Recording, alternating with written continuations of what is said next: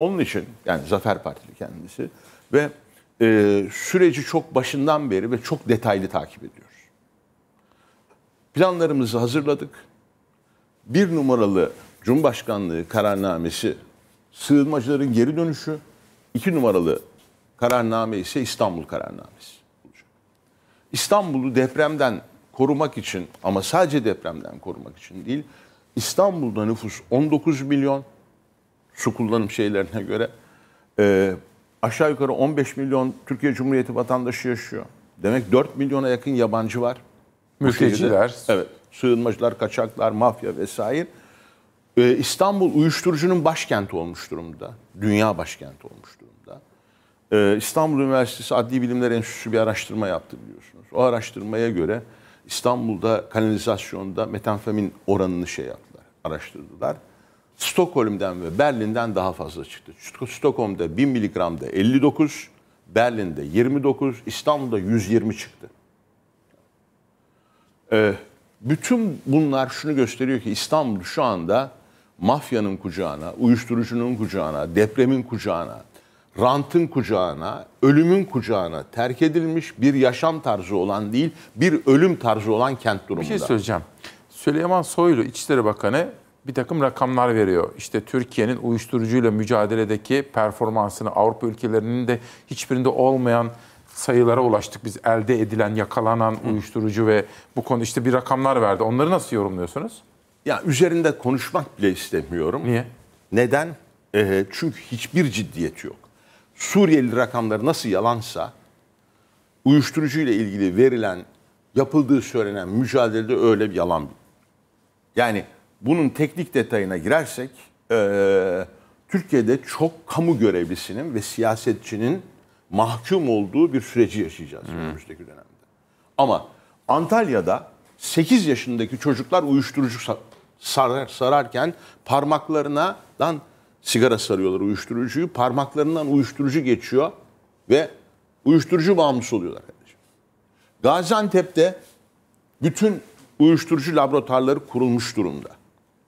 İstanbul uyuşturucuyu peynir ekmek gibi bulabileceğiniz bir yer haline gelmiş durumda.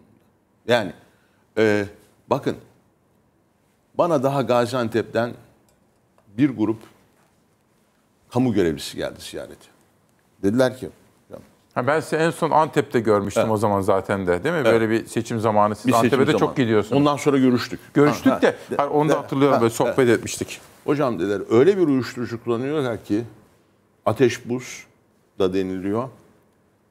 İki sene içinde çocuğun bütün dişleri dökülüyor. Kalsiyumu, vücuttaki kalsiyumu emiyor. Çünkü. Ve bunu bulmak o kadar kolay ki. Şöyle Bolibon sorayım şekeri. hocam. Efendim? Ben Evet. şöyle düşünüyor benim zihnim. Şimdi siz Mesela biz Tertemiz Türkiye diye bir projemiz Şimdi var. mesela Cumhurbaşkanı oldunuz veya sizin desteklediğiniz kişi Cumhurbaşkanı oldu. Zafer Partisi iktidara geldi. Bu uyuşturucuyla mücadele edeceğiz. Peki nasıl önleyeceksiniz bunu? Mesela Soylu da bir takım açıklamalar yapıyor. İşte bacağını kırın diyor, şu diyor, bu diyor. Ne yapacaksınız da engelleyeceksiniz? Bir, birincisi devlet istemezse uyuşturucu olmaz. Devlet içerisindeki çeteler işbirliği yapmazsa sığınmacılar da gelmez, uyuşturucu da gelmez. Bakın çok net. Şimdi ben diyorum ki Şanlıurfa sınırından günde 500 kişi giriyor Türkiye'ye. ÖSO ve PK, e, PKK işbirliğiyle getiriliyorlar Resulayn'dan. Ondan sonra Ceylanpınar, Akçakça arasından da, Akçakale arasından da giriyorlar. Gündüz gözüyle giriyorlar. Tamam. ÖSO getirdi, PKK, YPG'ye verdi. Ondan sonra sınırdan geçirildi. Bu en Sınır- son Taksim'deki terörist mi? Hayır. Bunlar kaçaklar. Günde 500 kişi diyor. Her, Ha, ben de her o- gün, onu da soracaktım. Size de her gün çünkü 500 o da bir- kişi. Sınırlar delik deşik. Ondan sonra geçiyorlar. Peki sınırdan girdikten sonra nasıl geliyorlar? İçeride kim yardımcı oluyor onlara? Türkiye içinde. Tamam. Şimdi zannediyorlar ki bu bilinmiyor. Yo, biliniyor. Tamam mı? Hangi VIP minibüslerle hangi hizmetin verildiğini biliyoruz. Ya bunları açıklayın. Şimdi bakın bunlar zamanı gelince mahkemelere gidecek. Mahkemelere gidecek. Kimlerin mesela anahtar teslim Türk vatandaşlığı Suriye'den alınıp buraya getiren 200 bin dolar. Tamam. şey Suriye'den diyeceğim. alıyorsunuz, Türkiye'ye getiriyorsunuz, vatandaşlık alıp veriyorsunuz 200 bin dolar. Sayın Başkan sizi geçen hafta mı aradım? O terör saldırısından sonra Evet. sizin bir açıklamanız vardı ajanslarda. Bana gelen bilgiler İçişleri Bakanı Soylu'nun açıkladığı bilgilerden farklı demiştiniz. Evet. Ben de sizi aramıştım. Nitekim ertesi gün Halk TV'de burada bu görüşlerinizi de anlatmıştım. Siz orada başka bir takım istihbaratlardan, yurt dışındaki istihbaratlardan da bahsediyor, şüpheleniyordunuz. Şu an- Arada geçen gelişmeleri takip ettiğiniz zaman Evet. o kuşkularınız geçerli mi değil mi? Şimdi bakın, e, Soylu Amerika Birleşik Devletleri'nin bu saldırının arkasında olduğunu söyledi. Bu bir ihtimal olabilir. Ben bunu e, reddetmiyorum. Çünkü Amerika Birleşik Devletleri'nin Suriye'nin kuzeyinde PKK ile iç içe olduğu bir PKK-YPG ordusu yetiştirdiğini biliyoruz. Ancak bundan 9 ay önce İran İstihbarat Servisi'nin yakın bir e, terör örgütü tam Taksim'den bir fotoğraf paylaşarak anıtın önünden hatırlayacaksınız. E, buraları karıştırabiliriz Ben siz dedi. bana o bilgiyi verince baktım. Ekranda isim isim vermedim de siz de beni uyarmıştınız. Ama e, arkada böyle böyle bir şey var dedik. O terör örgütleri ve istihbarat onların reklamını yapmadan bilgi verdik sadece. Ve, ve patlamanın olduğu günde yine İran istihbaratına yakın bir internet sitesinde doğrudan Milli İstihbarat Teşkilatı hedef alınarak çok ağır bir yazı yazıldı. Hatta şu, tuzumuzu kullandınız, tuzluğumuzu kırıyorsunuz dendi. Yine İran'da çıkan yazılarda en son Afganistan'dan gelip İran'da bir camide terör eylemi yapan IŞİD'linin Türkiye bağlantılı olduğuna dair yazılar çıkartıldı. İddialar ortaya çıktı. Bütün bunlar bir araya gelince ve öğleden sonra da e, bu saldırı olunca ilk yorum, bakın ilk yorum, bu benim sadece kişisel yorumum değil, devlet içerisindeki birçok analizcinin de yaptığı yorum, bu olayın İran'ın taşeronluğunda PKK tarafından yapıldığı doğrultusunda. İhtimal dışı olamaz. Değil mi? İhtimal dahil olabilir. Ertesi günde Amerika Birleşik Devletleri'nin taziyesini Erdoğan kabul etti. Biden'la görüştü. Evet. Demek ki Erdoğan'daki bilgilerle Soylu'daki bilgiler arasında fark Tamam, var. şimdi anladım. Peki bunca yılın tecrübesi, bu kadar haber kaynağınız, şimdi siz devletle de konuşuyorsunuz. Bize tuhaf geliyordu hocam bu terör eylemi, bu, bu terörist, bu, belli ki bu maşa, bu böyle afyonlanmış gibi tuhaf bir tip bu. Fakat bombayı da patlattı. İşte o raporlar, polisin aldığı ifadeler şimdi netleşti mi bir, bir- Hayır, biraz? daha netleş- net değil değil mi? Daha net değil. Ee, ne söylediği önemli değil. Terör olaylarında bir süre bekleyip arkasındakini görmek, araştırmayı derinleştirmek lazım. Ve e, ancak ondan sonra daha Tamam. kapsamlı bir açıklama Peki. yapılabilir. Ama Şimdi- bu aşamada başka bir şey söylemek Tabii istemem. e, bir kere şu duygu ve düşüncemi hemen peşin peşin ifade edeyim. İfade etmezsem olmaz. Şimdi aslında bu yayının hikayesi başkaydı. Oraya girdik ama deprem hiç gündemde yoktu gayet tabii ki. Ama sordum. Çok hazırlıklı buldum sizi. Bunu da önemsediğimi ifade etmek isterim. Evet. Yani Türkiye'yi bekleyen temel meseleler konusunda iktidara namzet bütün partilerin ve liderlerin böyle hazırlıklı olması gerekir. Çünkü depremle ilgili hemen tık tık tık bunu ortaya koydunuz. Bu program için ben hazırlanırken sizin Twitter sayfanıza girdim baktım.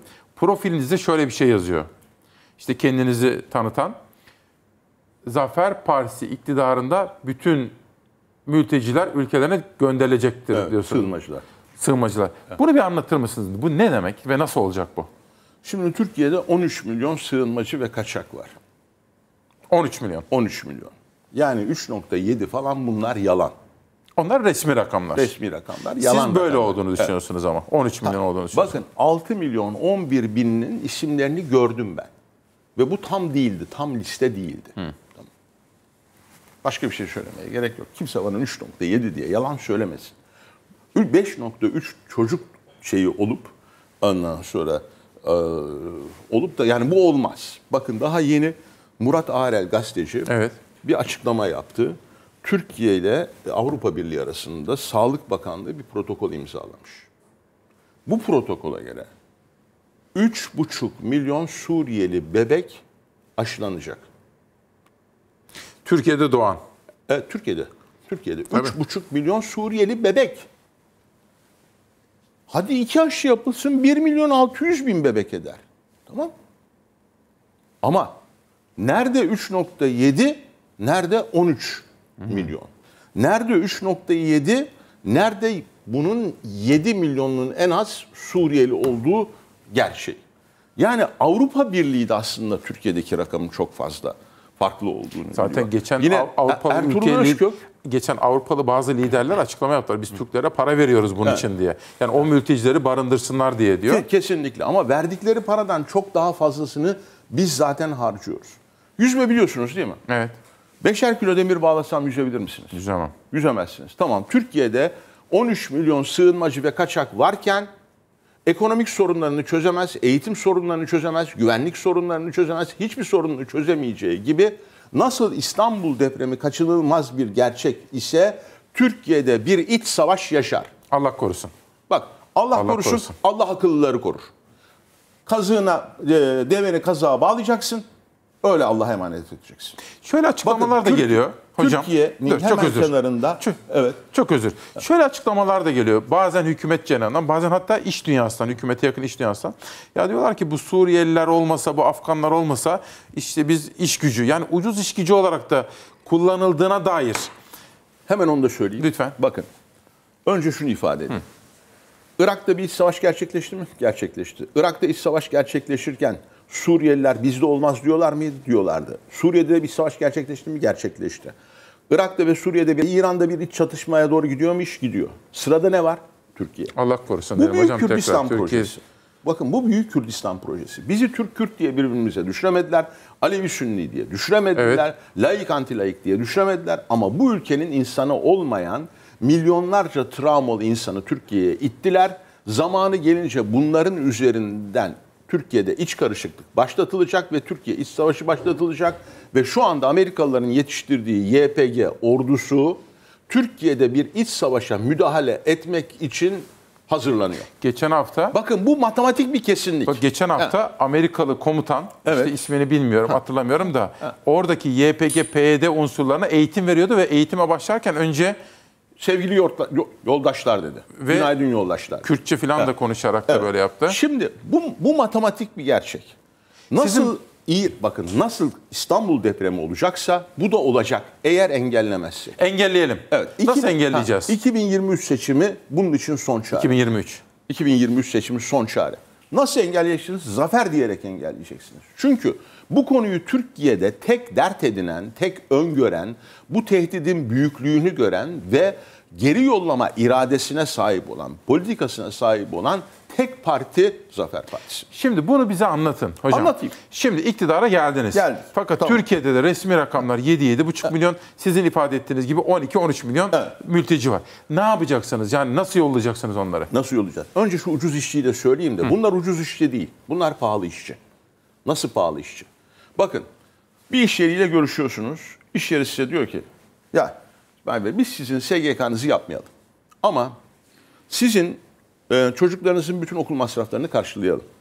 Sizin bütün hastane masraflarınızı karşılayalım. kayıt dışı. Yani ilaçlarınızı karşılayalım. Evet. Size elektrik ve su için de ayrıca cepten nakit ödeme yapalım. Tamam mı? Ayrıca sosyal yardımlarda aynı yardımlar da yapacağız. Ama SGK'nızı yapmayalım. Ne dersiniz? Yapmayın dersiniz. E şimdi biz bütün Suriyelilere bunları yapıyoruz. Bu bize daha pahalıya mal oluyor. Bunu Türkiye söylerseniz Türk de SGK istemez. Bir. İki, bu ucuz işçi diyenler şunu unutmasınlar. Bugün emeklilerin maaşı çalışanların ödediği vergilerle ödenmiyor mu? Evet. Peki Türkler işten çıkartılır. SGK ödenmeyen ucuz işçi diye görülen aslında pahalı işçi olan Suriyeliler çalışırlarsa yarın Türk emeklilik sistemi nasıl para ödeyecek? Neresinden bakarsanız bu bir rezalet bir savunma. Savunma değil yani. Bakın savunma değil. Maliyet bize çünkü 144.8 milyar dolar. Her Türk vatandaşının başına 31 bin lira düşüyor Suriyeliler için harcadığı Bir para. ara hükümet canı, belki 2 yıl falan oldu galiba. Bir 50 milyar euro harcadık gibi bir laf duydum ben. Ee, avro şey avro demediler, dolar dediler. Dolar mı dediler? Dolar dediler ama gerçek 148. Ki Ee, o zaman da zaten 144.8 50 milyar dolar. Peki Şimdi nasıl- nasıl yollayacaksınız? Biz nasıl yollayacağız? Önce Beşer Esad'la anlaşma yapacağız. Anlaşmanın ön anlaşması Türkiye, İran ve Rusya arasında Astana'da yapıldı. Suriyeliler döndükleri zaman nereden geldilerse oraya dönecekler. Hiç kimseye ev, hastane falan filan yapmayacağız. O iş bizim işimiz değil, Suriye devletinin işi. İki, Türkiye, Avrupa Birliği ve Rusya'nın bir güvenlik sistemi sağlamasını 5 senelik bir insan hakları rejimi sağlaması için çalışacağız. Ve ondan sonra döneceğiz Türkiye'deki Suriyelilere diyeceğiz ki arkadaşlar son seneniz. Artık burada Türkiye'de hastaneye gittiğiniz zaman Türklerin önüne geçmiyorsunuz. İki, Türkler nasıl hastanenin masrafını ödüyorlarsa siz de ödüyorsunuz. Eczaneye gittiğiniz zaman Türkler nasıl paraları ödüyorsa siz de öyle ödüyorsunuz. Artık bundan sonra kaçak çalışmanız yasak, çalışmanız da yasak. Size yapmış olduğumuz doğalgaz yardımlarını durduruyoruz, elektrik yardımlarını durduruyoruz. Zaten bunları yaptığınız zaman Türkiye'de yaşamak pahalı hale gelecek. Tamam? Zaten Ve- böyle videolar var biliyor ve- musunuz? ve- Geçtiğimiz günlerde Suriyelilere diyorlar ki eskiden geldik ucuzdu şimdi pahalı biz gidiyoruz demeye Ha, ve başladılar. geri dönüş zaten kendiliğinden başlayacak. Ama Esad'la oturacaksınız masaya. Tabii, önce Esad'la- Zaten MİT Başkanı da gidip geliyor benim anladığım Ba- değil mi? Başlayacak. O doğru Bunlar- mu hocam? bu- evet doğru. Üç yerde de görüşme yaptılar. İlerleme olmadı görüşmelerde. Ee, hala çünkü e, Şam tarafı şöyle söylüyor. Çok net bildi. Evet. Masada Davutoğlu'nun ekibi oturuyor diyorlar. Hayır, hayır, Hakan Fidan gidiyor geliyor ya. Ya bakın ben ne diyorum size? Biliyorum Hakan Fidan'ın gidip geldi. Masada Davutoğlu'nun ekibi oturuyor diyorlar. Bu ne demek? Yani Davutoğlu'nun ekibi derken e, eski zihniyet oturuyor. Yani bizle anlaşmak istemeyen zihniyet oturuyor diyorlar.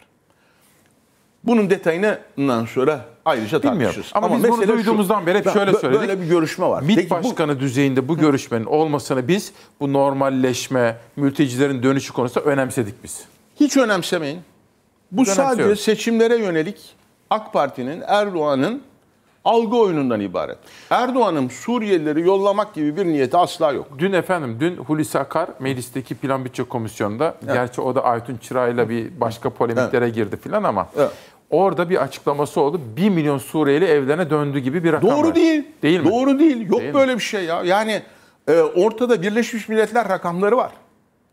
Sadece şimdi Türk halkının iradesini temsil eden Zafer Partisi bu konuyu Türkiye'nin gündemine getirince Cumhuriyet Halk Partisi de, e, İyi Parti'de, e, AK Parti'de ya biz de yollayacağız bu bir mesele demeye başladılar.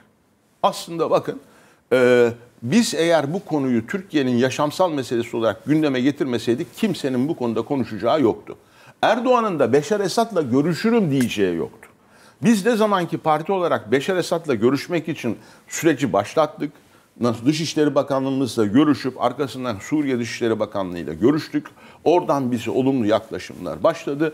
Ankara'da panik başladı. Eyvah biz de görüşelim dediler. Ondan sonra işte istihbarat görüşmelerine başladılar. Şimdi Erdoğan diyor ki ben de Beşar Esad'la Keza görüşebilirim. dün, dün değil önceki gün MHP grup toplantı salonunda MHP lideri Sayın Bahçeli de söyledi. Esad'la da görüşülür dedi. Evet, Esed tekrar Esad ol- oluyor. Ama bu bir seçim yanıltması. Bakın bu bir seçim Öyle mi? Ee, asla cidden oturup geri yollama niyetleri yok. Zafer Partisi dışında da Türkiye'ye gelen bu 13 milyon insanın vatanlarına yollayacak herhangi bir parti yok. Bir gözlemimi paylaşayım mı hocam? 31 yıllık bir gazeteci. Hemen hemen her hafta sonunda Türkiye'de dolaşan birisi olarak önümüzdeki seçimlerin iddia ediyorum ekonomiden bile öncelikli meselesi bu. Evet. Yani vatandaş sandığa gittiğinde ekonomiye baktığı kadar belki ondan da fazla Buna bu konuya bakacak. bakacak. Çünkü ben gidiyorum kilise, Gaziantep'e, oraya buraya her yere. Biz zaten Türkiye'de e, bu seçimlerin bir referandum olacağını düşünüyoruz. Neyin referandumu? Sığınmacılar gitsin mi kalsın mı referandumu? Sığınmacılar gitsin diyorsanız Zafer Partisi. Sığınmacılar kalsın diyorsanız diğer partiler fark etmez. Hiçbirisinin geri yollama ciddi programı yok. Ha, biz bonus olarak Erdoğan'da yollayacağız. Peki Erdinç hazır mı? Hazır mı arkadaşlar bağlantılarımız? İki bağlantı yapacağız. Önce kilise gidelim. Kiliste Sorel Dağıstanlı vardı. Dün bize Karkamış'taki terör saldırısı. Bu arada Karkamış'a gidiyorum öyle mi? bu akşam. Yarın oradayım. Onu bir anlatın. Öyle mi? Tabii, yarın oradayım. Bu Evet, yarın Gaziantep programı başlıyor. Bu Evet. akşamdan itibaren yarın Karkamış'ta olacağım. Ondan sonra kilise geçeceğim. sivil şehitlerimiz var orada. Tabii. e, Hatay'a geçeceğim, Reyhanlı'ya geçeceğim, Kırıkhan'a geçeceğim. Sınırda olacağım ve sınırda bir basın toplantısı yapacağım ve sınırda yapıldığımız yapacağım basın toplantısında Ottawa Sözleşmesi'nden çekileceğimizi açıklayacağım ve sınır güvenliğinin aynı ancak sınıra mayın döşenerek sağlan sağlanabileceğini ifade edeceğim ve sembolik olarak mayın döşeyeceğim. Bugün gidiyorsunuz. Bugün Yarın da gidiyorum. Karkamış'tasınız. Yarın da Karkamış'ta. Sorel Dağıstanlı, günaydın güzel kardeşim. Dün sabah bizim programımıza başladın. Gün boyu